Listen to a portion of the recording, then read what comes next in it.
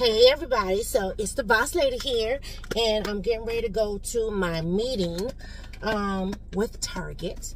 Um, now I won't be able to record it, but I want to give you my 59 cent about it. So I have to be there in 10 minutes. We gotta fly. Starts at 1.15. Uh, I um took my wig off as you can see. And um I'm okay with that. I was going to actually like wash my hair and braid it up and put my wig back on. And I decided not to do that. So, yeah. But my hair is still wet. So I'm a little concerned about getting, you know, oils and stuff on my, dang it, oils and stuff on my car. Luckily it's leather, so that's good. I got all these cars coming. I'm like, geez, the one time I want to back out, don't want to make the block. Like a stranger danger van. Like, who is this? But anyway, so I'm excited about the meeting. Um, I don't know how to feel. I don't know how to feel. I don't know how to feel. I'm nervous, I guess, but there's really nothing to be nervous about. I mean, they're going to ask me questions about me being a community member and things going on in my community and it's starting to rain. Great. Um but you know so i'm just going to i'm gonna speak from the heart you know what are the things that we need in our community? What you know to change things up and make things better and to be more inclusive as about as opposed to you know excluding folks and being segregation type of city, segregated type of city. So yeah. Okay, hopefully they're speeding and I'm not. Like I was about to say, because my car is saying 33 and it says 35, so because they was doing 38. but um, anyway, so yeah, so I'm really excited about this opportunity. Um, I hope it all goes well. Um, you know, I just I am of a caliber of I want to make a difference in my city. You know, a lot of people are like, oh my God, you know, black people live in Minnesota. Black people live everywhere. I'm just saying. Um, you know, I didn't know that uh, this goes on in Minnesota. Like, we didn't get put on the map until everything that happened with George Floyd, which, you know, no disrespect to him. Pulling out my umbrella. No disrespect to him, but, you know, we're more than just the city that basically got burned down or whatever, you know. I mean, we're still dealing with food deserts. You know, they've taken away our, um, a couple of our stores and things. And, you know, and some of it's because of the crime. Honestly, it's really because of the crime. I mean, I know we lost a Walmart recently, but the Walmart wasn't in Minneapolis. It was in a suburb. So, but, you know, still, a lot of the crime that comes from here goes out there, you know. So I just, I'm going to speak straight from the heart. I have seven minutes. I will be there, but I have seven minutes. Like, seriously, I have seven minutes. My head is like, whew. It feels weird having my hair out. Like, where did I do that at? I mean, my hair has been up for months. Since, what, February-ish, maybe? I have to look back in my pictures, but yeah, my hair's been up, up, up. And it was time for it to come down because it was some of the, um, oh, it's really raining out here. Some of the um, braids were kind of turning to dreads. So my head is kind of feeling some kind of way. Make sure not to hit that hole this time. Uh, there's a big old hole right there at that stop sign. I guess I never noticed it because I'm never on that side of the street until today, earlier. And I was like, oh my God. But anyway, it's really raining. Like, oh my God. Is that a good thing or a bad thing? Maybe that's the ancestors giving their their approval and giving me light and prosperity on all of this. I want to be a part of this collaboration so bad. So, yeah. The boss lady is not just about YouTube, child. I got other aspirations and I'm trying to work it out.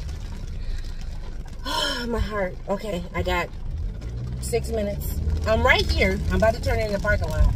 I'm just gonna get wet. I don't like getting wet. I don't like to sweat and I don't like getting wet. Like seriously. I don't even know how to open this thing.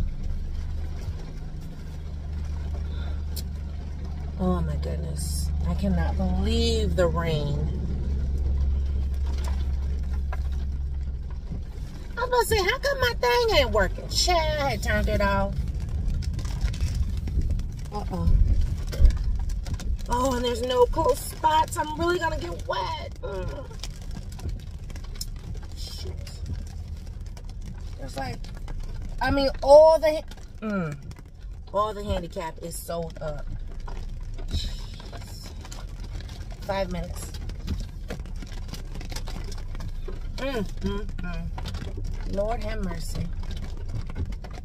Oh, there's one right here. Praise God for that. Praise God for that.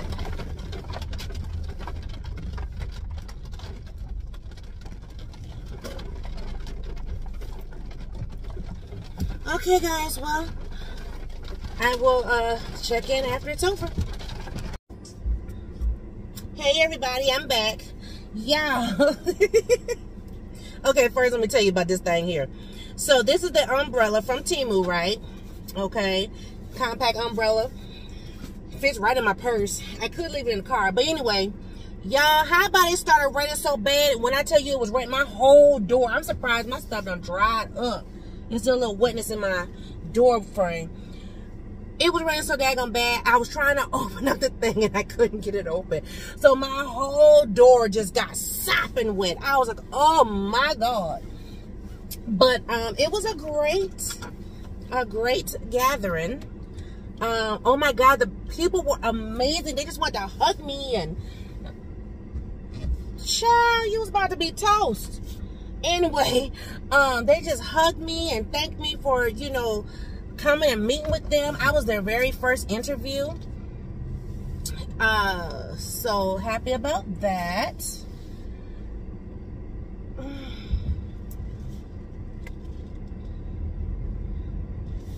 yeah it was it was great. I am super excited to work alongside this collaboration. Yeah. Oh my gosh. What happened to my thing here we go. Oh i had some text messages come through. That's what that was. Let me see. What what what you talking about? Um but anyway it was good. Um they wanted to just know more about me. They want to know about um, my city about my community. Um yeah it was great. It was really really great. Uh they're doing this collaboration with a lot of different people. And um yeah i'm just excited. So it's going to be a like a year-long collaboration. I'm for it. I'm whatever you need just call me. You know, um, and I spoke highly of my community. And one thing they asked me, because, you know, they were asking about like the crime and the violence or whatever. But the one thing they asked me, which I will hold true hands down, they said, because you don't do any business in the area and because, you know, there is like an uptick in crime or whatever, um, why do you stay? I said, well, for one thing, I said, my house is on rich soil. I said, North Minneapolis is rich soil. I said, so I would have to be bought out in order to go, honestly. Um, I said, second of all, you know, my home is a legacy home. It's generation on top of generations. I mean, generations have lived in that home. We are the, well, technically, what, fourth gen? Well, Miss Peanut would be considered fourth generation. My grandson is considered fifth generation in that home. So, like I said, they someone would have to truly, truly buy us out. You know what? I actually turned to go the, the wrong way. Mm. Ooh. Hold on, y'all. Wait a minute now. Mm. Something ain't right. Oh. Hold on. Hold that thought. Okay. Sorry about that. I had to, um, trying to figure out what's going on with my hand. But anyway, um, it was a great collaboration. Uh, I was the first interview. And I also found out that my daughter's principal is also going to be interviewed. So that's, you know, I'm amongst good people. Hello. uh, I'm really excited though. I mean, I am over the moon for what they uh, are trying to do. And it's it's a few, you know, targets involved. One of our colleges is involved. So I'm really excited. But you know, they they want to know they want to know more about me and and you know all everybody I spoke to, none of them were from Minnesota at all. And so, you know, to know that I was born and raised here and you know, pretty much I've lived within that I've never moved outside of that zip code. Even though I've moved to different little entities, I still stay in the same zip code. Um, not that it's a good thing, bad thing, or whatever. It's just my choice. Okay. So, um, you know, they asked me about schooling and you know because i work for a school and my daughter goes to school within the community and things like that and you know have i thought about putting her in school outside the community and i told him i did you know i said and, and it didn't work well for us so yeah um you know and then they wanted to know about the community pride and and they also wanted to know about the um disconnect between the elders and the young people and what do I consider it to be and think oh it was amazing. And they just kept saying you know and we talked about you know like single parenthood and you know and then like me and myself always seeking out resources for my kids and stuff so he was just like the guy he was like you know what that resonated with me because my mom was a single mom and you know and she raised four kids and da da da, da you know so and then like the one lady, she's from India. Oh my gosh, she's so beautiful. And so, um, you know, she's like, I've never experienced snow before. I'm terrified of the snow, blah, blah, blah. I mean, you know, just all kinds of things. But it was a great conversation that that needed to be had. And I was glad to share my story, you know. So, yes. so that was my time with Target, y'all. Who knows? Boss lady might be, I don't know now. So, yeah. But they're to be talking with me over the, it's to, like I said, it's to take about a year before they actually get together what they want. And then, um, go from there. They also asked me, you know, what are some things that I would like to see in the community and things like that. And I said, you know, we need resources. Uh, honestly, for people who don't have the means, like, you know, I have the means, you know, but there are a lot of people who don't have the means. They don't have a car. They don't, um, they don't have the wherewithal to think outside the box and things like that. So they need resources. They need there, we need community centers for the youth. We need centers for the the um the elders, you know. Um excuse me we need resources as far as like certifications, you know, skill sets and stuff like that. You know, there's a lot of a lot of things that people could do, but they don't have the the means to get get it. You know, some people don't want to go to college for four years and six years and eight years and whatever. But you know, if you could get certified in something and get to working and make a, a honest living to be able to support your family, yeah you know but i talked about how you know my community used to be a, a jewish community. And when it started to integrate that all the jewish folks moved out.